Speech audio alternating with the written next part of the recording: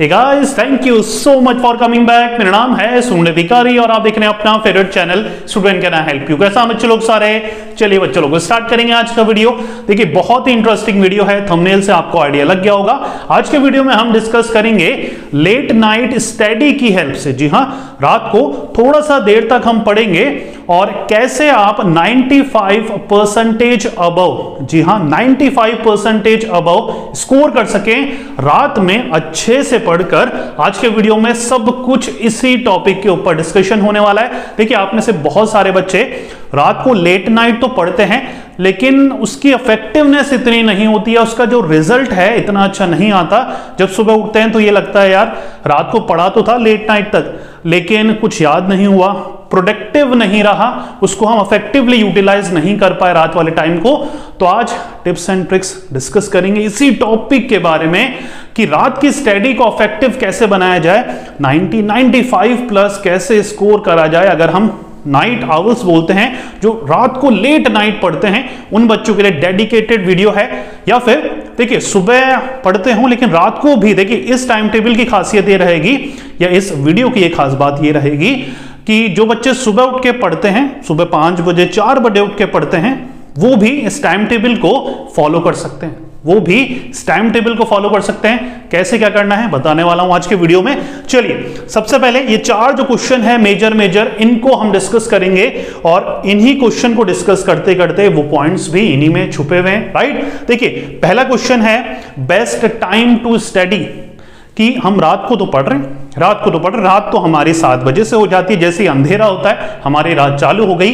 तो क्या हमें नौ बजे सो जाना चाहिए? रात को नौ बजे नहीं। राइट देखिए लेट नाइट स्टडी का जो टाइम टेबल है, मेरे अकॉर्डिंग बेस्ट टाइम जो है, वो होता है रात को नौ से सुबह के एक बजे तक। मतलब नौ से एक बजे तक का जो टाइम टेबल है, या जो टाइम है, वो बेस्ट है स्टूडेंट के लिए। वो बेस्ट है स्टूडेंट के लिए। मेरे अकॉर्डिंग एक से चार बजे, सुबह एक से और चार बजे तक राइट मतलब रात के एक और चार बजे तक का जो टाइम है, उन टाइम में बच्चों को सो जाना चाहिए क्योंकि वो टाइम ज़रूरी होता है एज एन इंडिविजुअल हमारे जो बॉडी की स्ट्रेंथ है बॉडी की जो एक नीड है, उसको फुलफिल करने के लिए मेमोरी पावर रिटेंशन वगैरह को इंक्रीज करने के लिए राइट तो मेरे अकॉर्डिंग ऑल नाइटर्स किसी भी कीमत पर बच्चों को अवॉइड करना चाहिए राइट ऑल नाइटर्स क्या होता है? पूरी रात जग कर पढ़ना, वो हमें नहीं करना चाहिए। साइड इफ़ेक्ट बहुत है बॉडी में वीकनेस रहेगी और मेजर जो साइड इफ़ेक्ट है, जो बच्चों को बच्चों के लिए बिल्कुल अच्छा नहीं है, वो ये है कि मेमोरी लॉस होती है राइट हम ज़्यादा समय तक चीज़ें रिटेन नहीं कर पाते देखिए, होगा क्या? लेट नाइट आप पढ़ लेंगे कॉन्फिडेंस आएगा कि यार पूरी रात में पढ़ सकता हूँ, लेकिन जब एग्जामिनेशन टाइम होगा तो आप रिकॉल नहीं कर पाएँगे। बहुत जल्दी चीज़ें आपके दिमाग में नहीं आएगी। होता है ना आपके साथ? तो प्रॉब्लम यही है कि आप ज़रूरत से ज़्यादा, रात का जो पीक टाइम है, एक बजे से चार बजे तक का, उसमें सोना बहुत ज़रूरी है राइट तो हमें क्या करना है? टाइम क्या हमने सेट करा है? नौ बजे से एक बजे तक इस टाइम के बीच में बहुत ही अच्छी, खासी आपकी पढ़ाई हो जाती है। अगर ये टाइम टेबल भी आप फॉलो करते हैं तो इजीली इसको फॉलो कर पाएँगे राइट नौ बजे से एक बजे तक। वॉट टू स्टडी स्टडी करना क्या है? देखिए नाइट का जो टाइम है 9 से 1 बजे तक का बेस्ट टाइम है रिवीजन के लिए। जो भी हमने पढ़ लिया है, या सुबह और दिन में जो पढ़ा है, उसको हम रात को रिवाइज कर सकते हैं, या जो भी सिलेबस आपका कंप्लीट हो गया है रिवीजन करने के लिए बहुत अच्छा टाइम है। लेकिन क्वेश्चन ये भी आता है कि सर, अभी तो हमने पढ़ना स्टार्ट ही नहीं करा। जब स्टार्ट ही नहीं करा तो रिवाइज क्या करेंगे? तो उन बच्चों के लिए क्या है? आप जो भी थियोरिटिकल सब्जेक्ट है, जो भी थियोरिटिकल सब्जेक्ट है, याद करने वाला सब्जेक्ट है, वो आप पढ़ सकते हैं राइट उससे होगा क्या? देखिए प्रॉब्लम क्या है? प्रॉब्लम ये है कि अगर हम कोई कॉम्प्लेक्स टॉपिक पढ़ते हैं, चीज़ पढ़ते हैं, जिसमें हम अटक जाते हैं तो दिमाग कहता है, यार, सो जा। सुबह उठ के देख लेना। ये नहीं होना चाहिए। अगर आप प्रैक्टिकल सब्जेक्ट भी कर रहे हैं मैथमेटिक्स अकाउंटेंसी फिजिक्स वगैरह या स्टैटिस्टिक्स वगैरह जैसे सब्जेक्ट भी कर रहे हैं तो जो भी हार्ड क्वेश्चन आता है टफ क्वेश्चन आता है, जो कि आपको समझ में नहीं आ रहा है, उसमें गोला करिए सर्कल करिए और ये छोड़ दीजिए कल के लिए। कि हम कल देखेंगे, सुबह देखेंगे, दिन में देखेंगे, लेकिन रात को उसमें ज़्यादा माथा पच्ची नहीं करनी, ज़्यादा टाइम हमें वेस्ट नहीं करना है राइट तो हमें ऐसे क्वेश्चन से या ऐसे क्वेश्चन को अवॉइड करना है जो हमें समझ में नहीं आ रहे राइट तो रात का पढ़ने का सिंपल सा फंडा क्या है? रिविजन के लिए मटेरियल है तो बहुत अच्छी बात है, अगर नहीं है थ्योरिटिकल सब्जेक्ट पढ़ो। अगर आपको प्रैक्टिकल ही सब्जेक्ट पढ़ने हो सकता है बहुत पीछे सिलेबस चल रहा हो आपका प्रैक्टिकल सब्जेक्ट का। तो जो हार्ड क्वेश्चन है उनके साथ ज़्यादा टाइम वेस्ट नहीं करना है सर्कल करना है। कल, दिन में या सुबह वो क्वेश्चंस देखने हैं। जो भी क्वेश्चन हो रहे हैं आपसे, जो भी फ्लो में क्वेश्चन हो रहे हैं आपसे, उन्हीं क्वेश्चन को ज़्यादा से ज़्यादा आपको रात के टाइम में करना है। सिंपल हो रहा है। चलिए। वॉट टू स्टडी हमने फोकस कर लिया। हमें पढ़ना क्या है? तीनों के बारे में मैंने बता दिया है। रिविजन बेस्ट है। थ्योरेटिकल पढ़ सकते हैं प्रैक्टिकल पढ़ें तो अवॉइड करें ऐसे क्वेश्चन जो आपको समझ में नहीं आ रहे सिंपल हो रहा है। चलिए हाउ टू अवॉइड स्लीप अब ये भी एक क्वेश्चन है कि रात को पढ़ रहे हैं। जिन बच्चों को आदत है, जिन बच्चों को आदत है, वो तो टाइम निकाल लेंगे, लेकिन जिन बच्चों को आदत नहीं है, उनको नींद आएगी। दो तीन चीज़ें करनी है। क्या करना है पहला? एक तो डिनर जो है लाइट लेना है। गलती क्या करते हैं? डिनर ले लेते हैं, हम ठूस ठूस के गले तक भर लेते हैं राइट और जैसे ही बैठते हैं, बैठते भी कैसे हैं? पूरी रजाई कंबल ओढ़ कर बैठते हैं हम अगर सर्दियाँ चल रही हैं तो। सिर्फ़ आँखें आँखें दिखती है आपकी और थोड़े टाइम में आधे घंटे थोड़ा हिलते डुलते आपको नींद आ जाती है राइट तो ये अवॉइड करना है राइट आ, टेबल चेयर में बैठेंगे तो बिल्कुल परफेक्ट है नहीं तो नीचे हम दरी बिछा सकते हैं एक कार्पेट बिछा सकते हैं और वहाँ पढ़ सकते हैं। नहीं तो अगर बेड पे भी पढ़ रहे हैं तो बहुत ज़्यादा खुद को कवर करने की ज़रूरत नहीं है राइट बहुत ज़्यादा खुद को कवर करने की ज़रूरत नहीं है। सबसे पहली चीज़ क्या करनी है?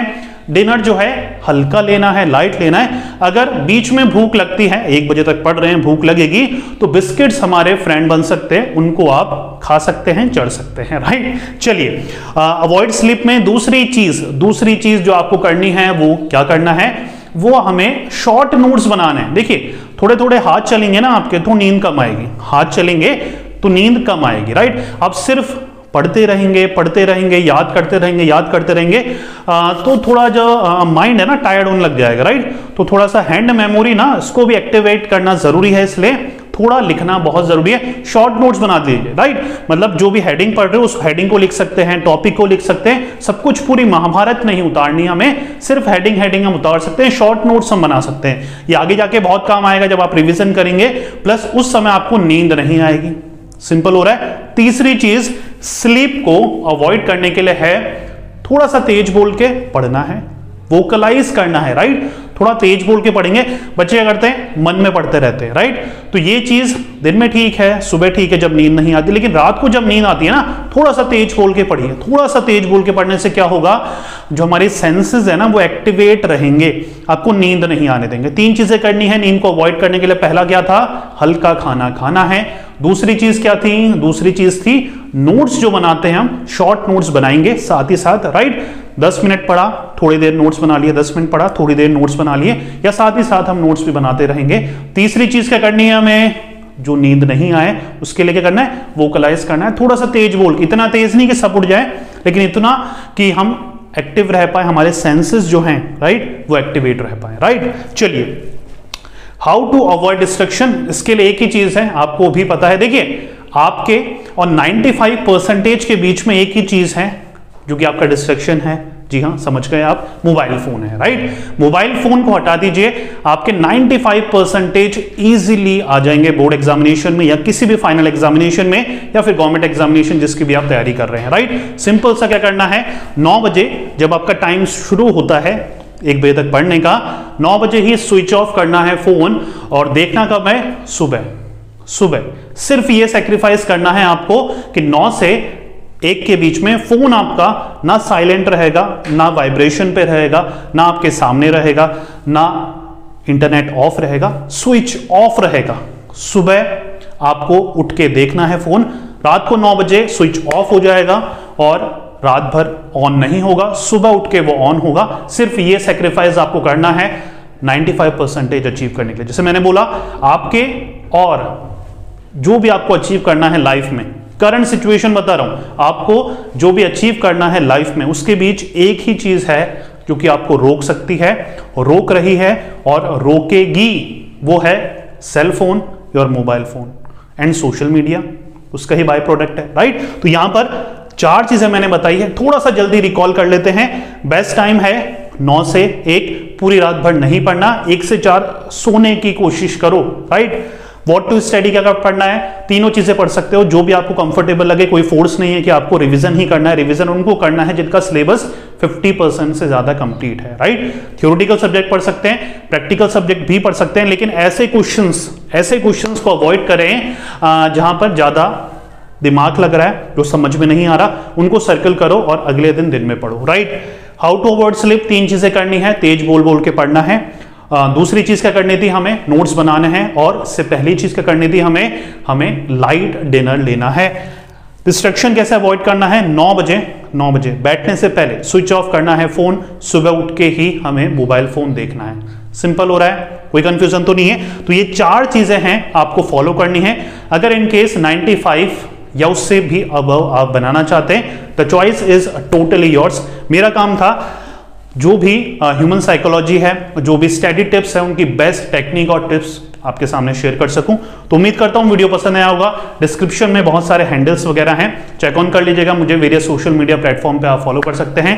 प्लस अब आप उससे काउंसलिंग भी ले सकते हैं डायरेक्ट वन टू वन उसके लिए भी लिंक आपको डिस्क्रिप्शन में मिल जाएगा। राइट मिलेंगे नेक्स्ट वीडियो में किसी और इंटरेस्टिंग टॉपिक के साथ। जब तो पढ़ते रहिए मेहनत करते रहिए क्योंकि आपका भी देना आएगा। Thank you so much